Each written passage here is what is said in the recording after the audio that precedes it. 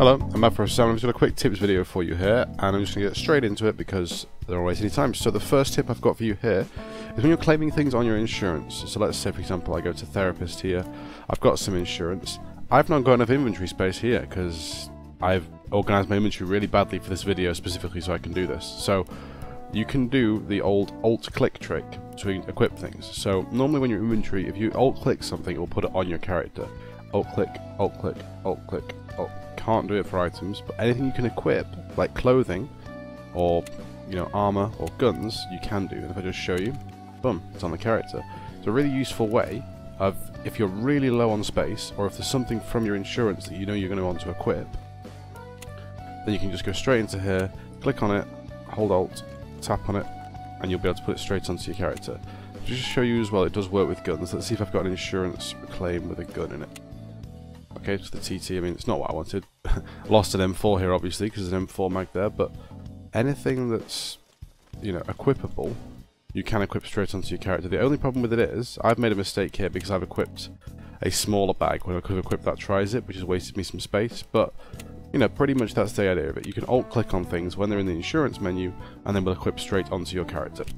Okay, so quick number two is for basically some gameplay tips this time, or I guess settings tips. On my videos I've got wide view from left to right. A lot of people I see watching on YouTube videos, they don't have this setting here, FOV, turned all the way up to max. If we just turn it down, just to show you, this is what the game normally looks like. So if I put myself somewhere where I can see things on the edge of the screen easily, so let's go here.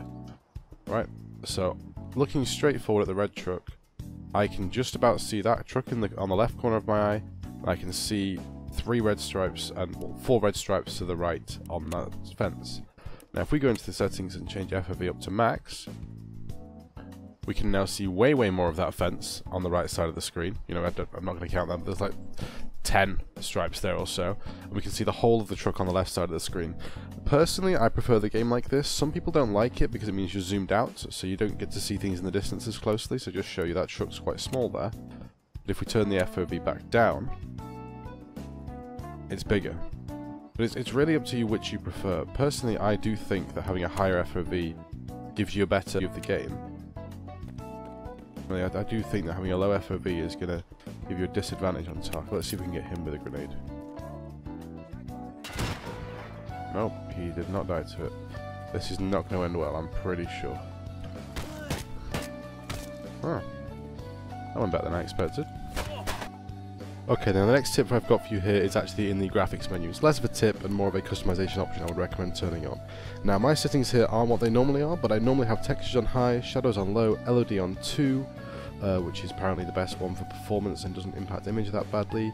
Overall visibility is 2000, which is the default. Shadow visibility is 2000, uh, sorry, 100, which is the default. SSAO you want off, contact SSAO you want off, screen space reflections you want off, and anisotropic filtering you want on per texture or on. Now at the bottom as well I would recommend turning off noise and Z-Blur which will just clear up the screen a little bit and maybe chromatic aberrations if you want, that sort of makes the image a bit a bit tighter, a bit cleaner. Now as you can see here the game doesn't look awful, the main thing you're going to notice when I actually show some proper gameplay is going to be the shadows, but one thing you do want to make sure you definitely turn off is the SSAO settings, they will make basically dark things not as dark. So the game doesn't look as pretty with SSAO turned off, but it will mean if there's somebody hiding in the dark, hiding in the grass, hiding by something like these ledges here for example, they won't have a shadow around them, whereas they may have done normally with SSAO in the evening. Now turning off that shadow, it's not going to really give you much of an advantage, an unfair advantage, but it just means that people won't sort of blend into shadows as much as they would do with that setting turned on. For example, those shadows there, or those shadows there, someone would stand out a lot more there with the SSAO turned off than they would have done with SSAO turned on. The gun itself as well will not have as detailed shadows on it, and the, the flickering shadows you can see here now aren't due to that being turned off there from the shadows being on low. So if you do not like that flickering that you can see on the gun, maybe put shadows on medium or high, but I put them on low just because it seems to be what the, the best thing to do. You know, a lot of YouTubers and streamers do it, but you do get these horrible jaggedy shadows as you can see here on my screen now, which can be a little bit distracting. Okay, now to be fair, some of these haven't really been very good tips. A lot of them have been just changing settings and, and letting you know about things that exist in the game. But one thing I would like to also mention to you, there's a scarab somewhere, there it is. Oh, I want to, I want to talk about things, I don't want to die. One thing I also want to mention to you is that you can delete things from the inventory really quickly, and I'm going to show you how to do that in just a moment once I get to some safety. behind this tree, maybe. Yeah, this tree will do. Only in offline mode anyway. If you want to get rid of something out of your inventory really quickly without having to right click and discard and everything, so say you pick up a backpack that's full of stuff you don't want, you just tap delete on it. Tapping, to put your mouse over something and tapping delete will drop it, even your container, which you don't want to drop. But you can drop anything onto the floor just by tapping delete on it. It's a really quick way of doing it, especially if you're clearing out a bag, as I said earlier.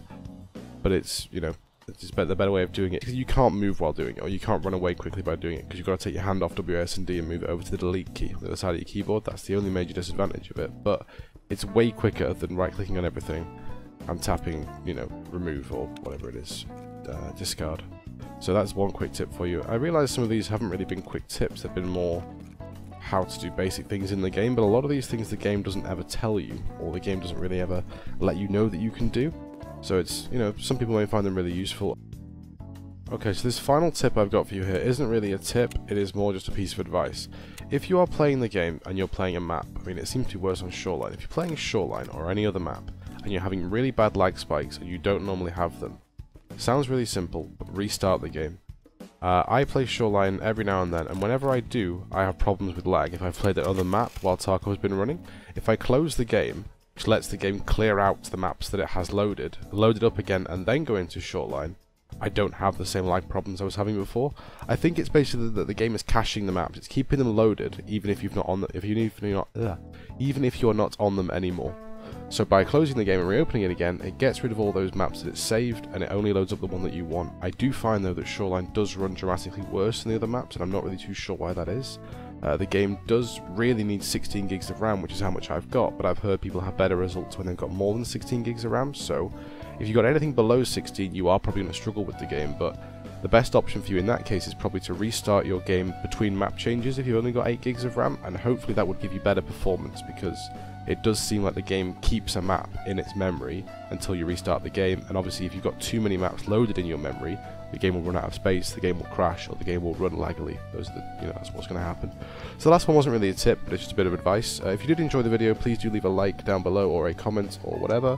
Uh, if you want to subscribe to my channel, please do. I really do appreciate it. And if you're looking for some friends or people to play Discord with, people to play Discord, people to play Tarkov with, I have a Discord which will be linked down in the description below. Thank you for watching this video. Bye bye.